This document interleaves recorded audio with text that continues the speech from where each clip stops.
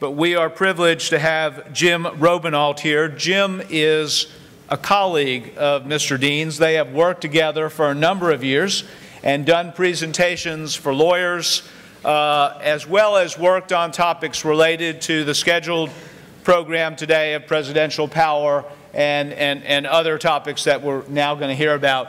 Please join me in we welcoming Mr. Jim Robenalt.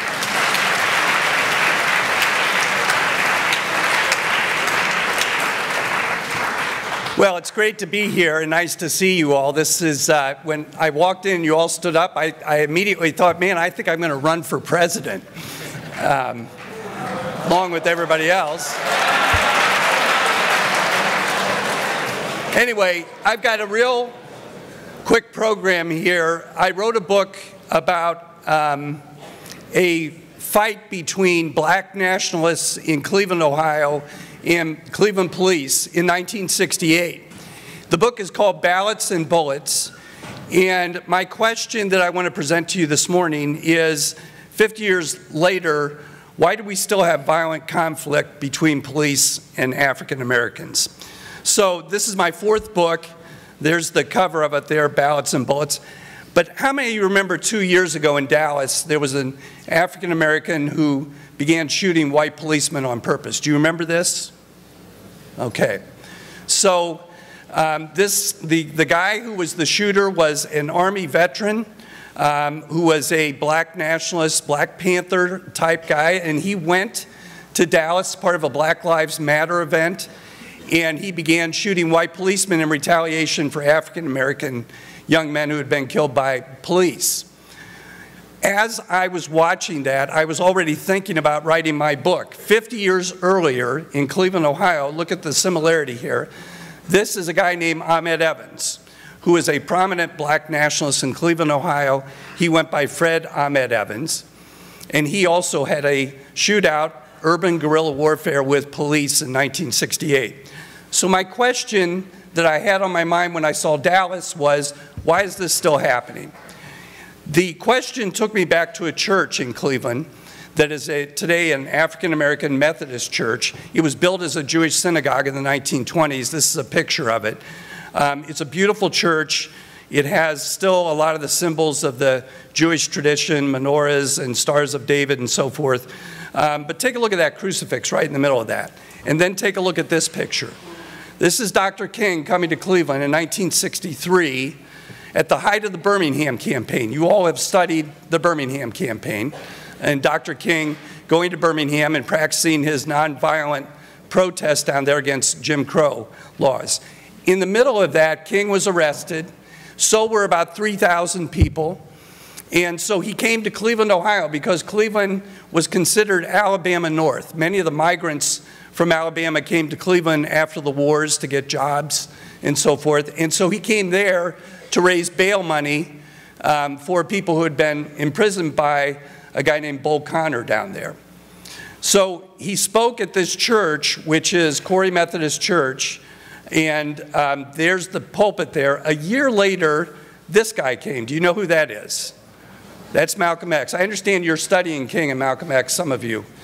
Malcolm X came to Cleveland, and he spoke from the exact same pulpit that Dr. King spoke from, but his message was very different. So let's talk about the two spectrums of the black freedom movement. Dr. King was Christian, he was for nonviolence, and he was for integration. Malcolm X was Muslim, he was for armed self-defense, and he wasn't really particularly a fan of integration. So we have both these guys in the same church within a year of each other speaking, but Malcolm X gave what was his most important speech in Cleveland at this time. It's called the ballot or the bullet. And so if, if Martin Luther King gave the I Have a Dream speech, Malcolm X gave the ballot or bullet speech. It's the counterpoint to the whole thing. King came to Cleveland. This is Birmingham, and you, you of course recognize these images from studying this. These images changed things in America. Uh, this led to the 64 Civil Rights Act. It led to the 65 Voting Rights Act. Uh, this picture in particular is on the cover of the New York Times and has a, a, very interesting backstory to it, but it galvanized people in the 60s. So that's where we have King coming and speaking in Cleveland. A few months later, he went to Washington, D.C., and he delivered his I Have a Dream speech. And one month after that speech, back in Birmingham, white supremacists put 19 sticks of dynamite in the basement of this church, 16th Street Baptist Church, where King was working out of, and a whole bunch of young children had gone into the basement and they set off the dynamite. Four young girls were killed, many were badly injured. And so the question arose within the black freedom movement what does nonviolence get you when you're dealing with violent people who are monsters? And the answer for a lot of African Americans was Malcolm X the ballot or the bullet. And in Cleveland, don't make no mistake, um, racism in our country is north and south. It's not just a southern problem. This is Cleveland, Ohio in 1964, uh, fighting over integration of the schools. So that's when Malcolm X came to Cleveland. He had just left the Nation of Islam, and he was moving to a higher ground himself on human rights. Let me have you hear his voice. This is what, how he started his speech when he was talking about the ballot or the bullet in Cleveland. Mr. Moderator, Reverend Cleage, brothers and sisters, and friends, and I see some enemies.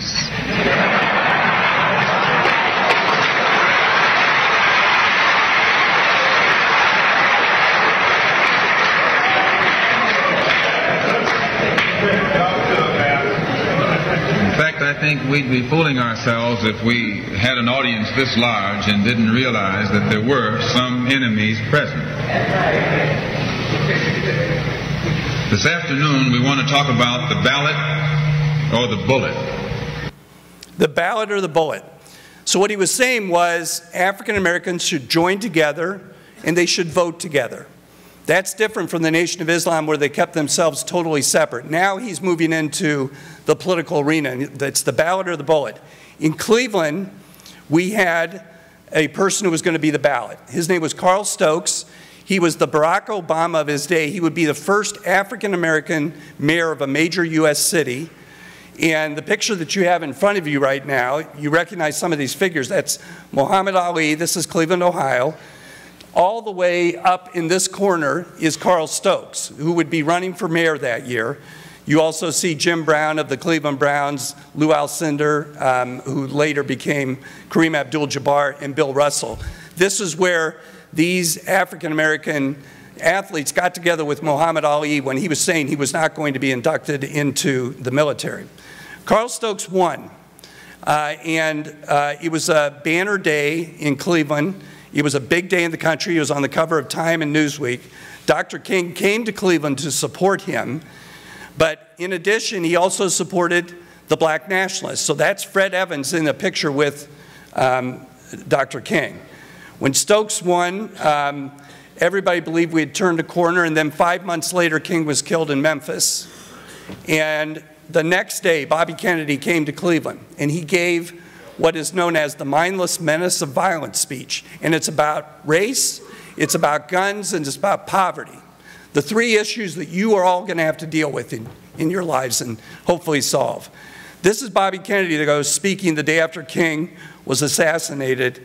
And this is how he began his talk to a very subdued group in, uh, in Cleveland, Ohio.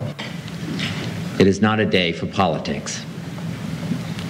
I have saved this one opportunity, my only event of today, to speak briefly to you about the mindless menace of violence in America, which again stains our land and every one of our lives.